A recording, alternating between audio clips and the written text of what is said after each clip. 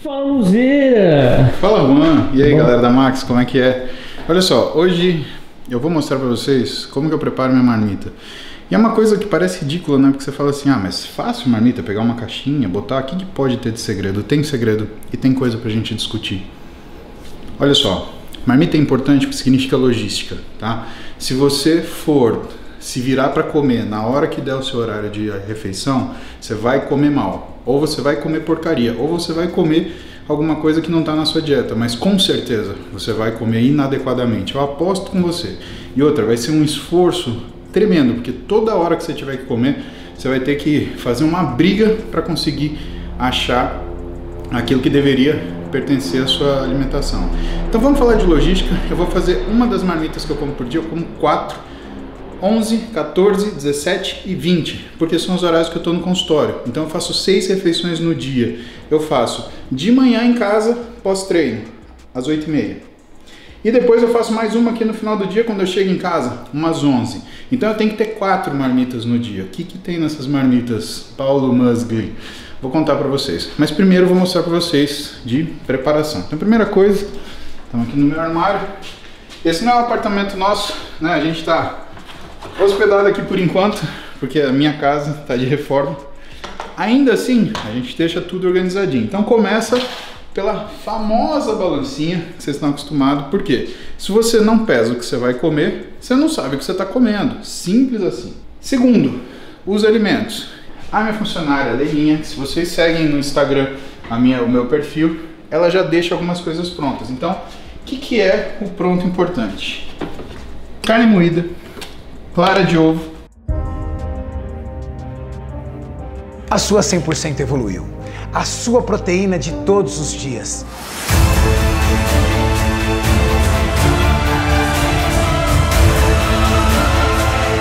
Qual é a sua meta?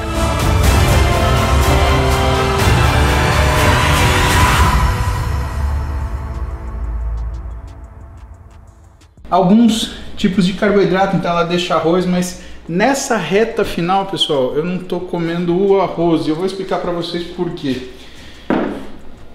E eu vou mostrar para vocês a marmita que eu tenho feito durante a semana. Um carbo, um carbo não, na realidade um um vegetal e o que, que eu tenho selecionado de carbo?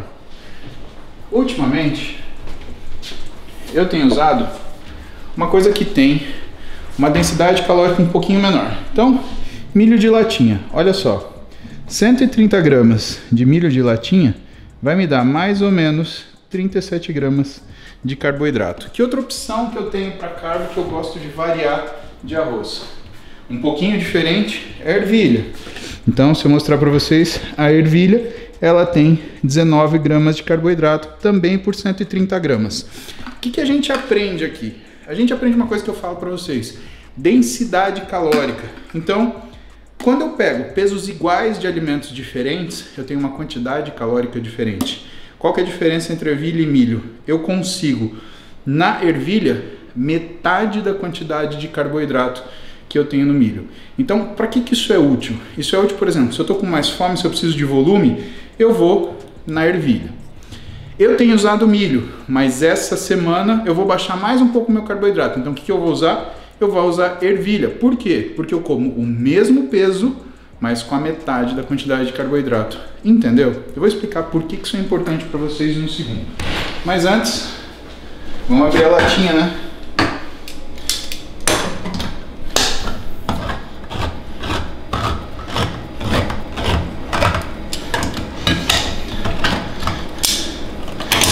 Coisa que eu sou aficionado, que é instrumento de cozinha de casa. Cara, eu adoro essas coisas. Gostei desse negócio aí, nunca tinha visto. Legal pra caramba, né? Gringo usa isso.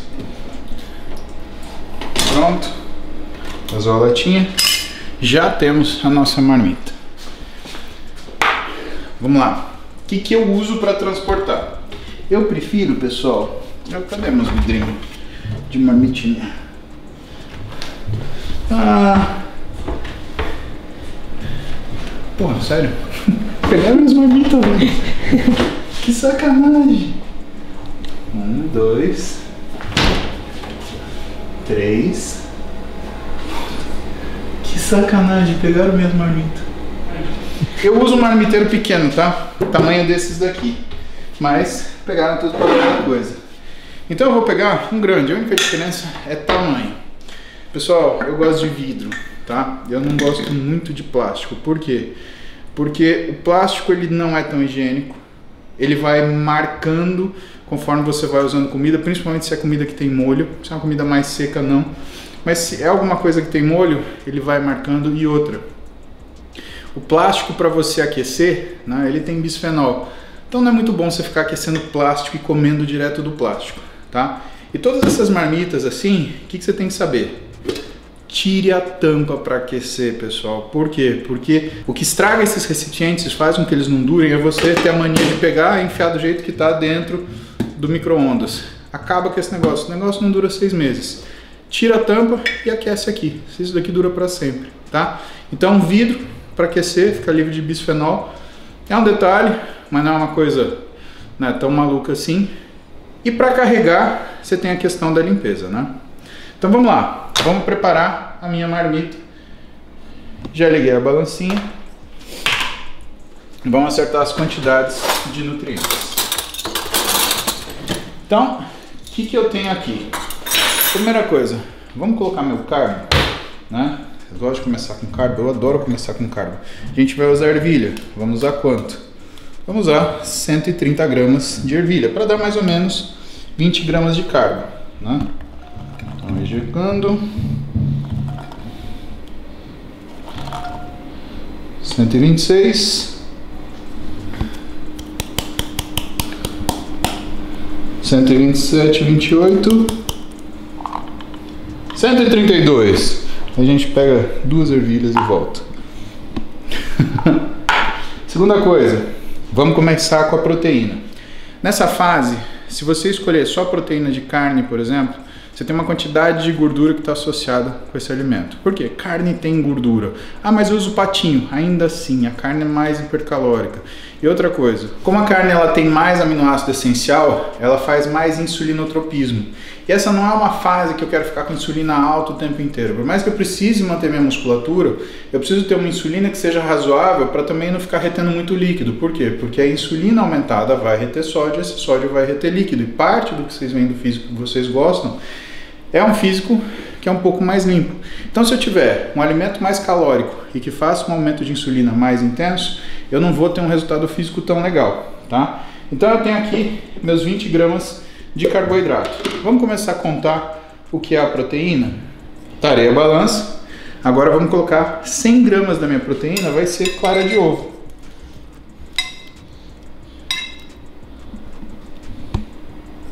Aqui, muito bom. Bom, essa parte que é mais técnica, o que, que, eu vou falar para vocês? Uh, o legal é a gente usar uma tabela para ver a quantidade de nutriente, que é a tabela taco, tá? Mas a gente precisa de uma coisa rápida. Normalmente eu uso algumas tabelinhas que estão na internet. Essa daqui, por exemplo, é Fat Secret. Então, para cada 100 gramas de clara cozida, eu vou ter mais ou menos 10 gramas de proteína. Então, eu tenho aqui 10 graminhas de proteína, já está garantido. Facinho de lembrar, né? É 1 para 10. Vamos complementar de carne moída. Eu quero, de carne moída, mais ou menos uns 25 gramas de proteína. Então vamos procurar aqui para ver carne moída patinho. Para cada 100 gramas de patinho, vou ter mais ou menos 30 gramas de proteína e mais ou menos 2,5 gramas de gordura. Tá aqui, ó, que bonitinho, tá? Qual o nome desse aplicativo, moço? Esse daqui é o Fat Secret Brasil, tá? Então dá para você ter uma, uma ideia boa, ele tem algumas coisas que não bate com a tabela TACO, que é o que a gente usa oficialmente, mas se você precisa de uma referência rápida, já está aqui, tá? E aí, vamos complementar? Por quê? Porque se eu colocar mais 100 gramas de carne moída, eu vou ter na minha refeição o equivalente a 40 gramas de proteína. Uma boa refeição, pessoal, tem da ordem de 40 a 50 gramas de proteína. Não precisa muito mais que isso, na verdade, porque você vai comer fracionado. Lembra? Eu vou comer só dessa marmita, 4. Ou seja, 4 vai dar né, no total 160 gramas de proteína. 160 gramas de proteína, eu já estou em quatro marmitas batendo 1,6 gramas por quilograma do meu peso. Tá vendo? E aí eu tenho mais duas para consumir. São mais 80. E eu fico naquela casa de 2, 2,2. Nessa fase que você está secando, né? Taxa de proteína muito mais alta não é uma coisa que te ajuda na velocidade de perda, tá? Então vamos lá por os nossos 100 gramas de carne moída.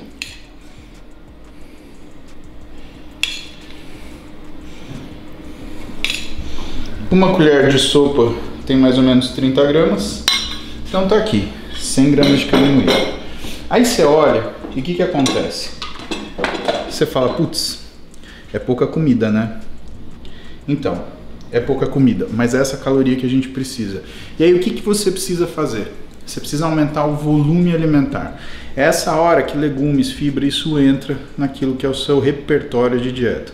E por que é importante isso? Porque sempre que você está fazendo uma dieta de restrição, você precisa ter alguma coisa para diminuir a sensação de fome. E você vai ter sensação de fome fisiologicamente. Por quê? Se você estiver perdendo gordura, o seu tecido gorduroso interrompe a produção de um hormônio chamado leptina, que no cérebro ele dá a sensação de saciedade. Isso quer dizer que a sua fome fica ligada o tempo inteiro. Então fica uma luzinha de alerta: tô com fome, tô com fome, tô com fome, tô com fome. Como que a gente no esporte faz para limitar o que essa luzinha incomoda? É como se a gente jogasse uma toalha por cima dela. Essa toalha a gente faz com legume. Por quê? Porque tem muito baixa caloria e porque você consegue fazer uma, uma, um volume de refeição que seja razoável. Quanto que é mais ou menos o que eu como? Ó, eu tenho 100 gramas de ovo, eu tenho 100 gramas de carne moída e eu tenho 130 gramas de ervilha. Eu tenho 330 gramas no total de alimento. Para você se sentir bem comendo, você vai comer mais ou menos de 500 a 600 gramas. Se você for num restaurante por quilo e você não tiver virado de fome, você vai ver que você vai colocar no seu prato mais ou menos isso. É o que uma pessoa come. E muito provavelmente, se você colocar mais que isso, é capaz de você deixar uma boa parte no prato. Logo, o que a gente vai fazer? A gente vai complementar. Não são 330 gramas que eu tenho? Então, vamos bater 600? Por quê? De novo, se eu tenho uma densidade calórica baixa, um volume alimentar alto, eu tenho a sensação de estômago cheio. Então, por mais que a luzinha da fome ela esteja piscando, porque a quantidade de leptina a ser produzida ela está praticamente interrompida, por quê? Porque minha célula de gordura ela está mandando gordura para fora, eu pelo menos tenho sensação de plenitude gástrica para equilibrar essa sensação e conseguir fazer o quê? Ter saciedade, tá? Se não, fica uma loucura você fazer dieta.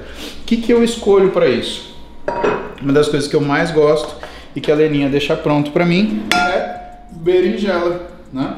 Então ela deixa uma berinjela temperadinha e eu vou lá e vou colocar minhas 350 gramas de berinjela. Ah, mas aí eu não gosto de berinjela. Cara, escolhe o que você quiser, chuchu, abobrinha. Ah, mas eu não gosto de legumes. Então o azar é seu, passa a gostar. Você não é criança, você tem 12 anos para não comer, para colocar perto do prato. Você pede para sua mãe cortar para você? Não é, não faz isso, né? Então vamos ser adultinho, né? E vamos comer bonitinho. Vamos lembrar de comer legumes, verdura, né? Fase que você não está em competição, vamos lembrar de comer fruta, né? Por quê? Porque está ligado à boa saúde e está aqui, né? Então eu tenho aqui, isso é uma marmita de quatro que eu faço no dia. Mais uma coisa, muitas das minhas escolhas são alimentos que eu posso comer frio. Por quê? Por uma questão simples, pessoal. Por mais que eu tenha um micro-ondas pronto para aquecer meu alimento, você vai aquecer essa comida, tua sala vai ficar cheirando comida, tá? Essa é a primeira coisa. Às vezes não é tão legal atender um paciente com a sua sala cheirando almoço, né? Segunda coisa, se você pode ter praticidade de pegar algo, abrir e comer, cara, é muito mais fácil. E a terceira coisa, quando você precisa comer alguma coisa, que às vezes o paladar ele não está completamente ajustado para aquilo que você está com vontade de comer naquele momento, uma coisa mais temperada, mais fria, acaba sendo mais fácil de você comer. Então tem uma série de coisas associadas a você saber fazer uma marmita que vão fazer você ter sucesso ou não. Imagina se você fosse fazer uma marmita de estrogonofe com molho, arroz e batata. Ia dar tudo errado, né? O molho ia azedar, ele ia misturar com arroz, ia virar uma papa, a batata ia murchar e você não ia comer. Você ia comer um negócio que parece vômito. Essa é a verdade. E a hora que você abrisse ia sair um cheiro meio de pum, sabe? É ou não é?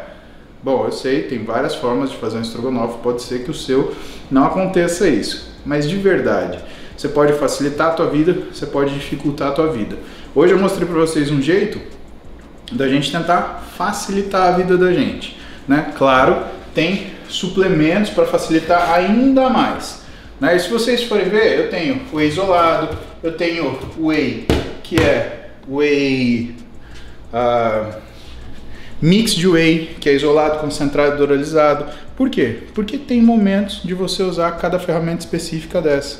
Se você for ver, por exemplo, um dia que você precisa de um pouco mais de carboidrato e você não tem à disposição uma fruta, você não tem à disposição algo que seja rápido para você comer, não vai comprar aquelas barrinhas cheias de açúcar. Para de fazer isso. Ah, eu comi a barrinha de nuts. Isso, com um monte de caramelo para dar liga. Parabéns! Né? É aquilo que eu falo para vocês. Aliás, eu falo há muito tempo. Né? Ah, mas tem pouquinho, então tá bom. Então pega um copo d'água quando você estiver com e pinga uma gota de diarreia. Você tem coragem de beber? Não tem, né? Então, quando você pega esses nuts, é como se alguém tivesse feito obrado em cima da barrinha. O efeito metabólico é o mesmo, tá? Então, para com essas brincadeiras. Cê, cê, essas, essas porcariazinhas que vende são tuchadas de açúcar. Não vem com essa história ah, natural, não sei o que. É, é outra pegada. Ah, mas eu quero optar por barrinha. Legal, então usa uma barrinha de proteína. Ela já está equilibrada para aquilo lá. Mas lembra, se você quebrar galho, você vai virar macaco gordo, né? Porque macaco gordo é que quebra galho, não é não?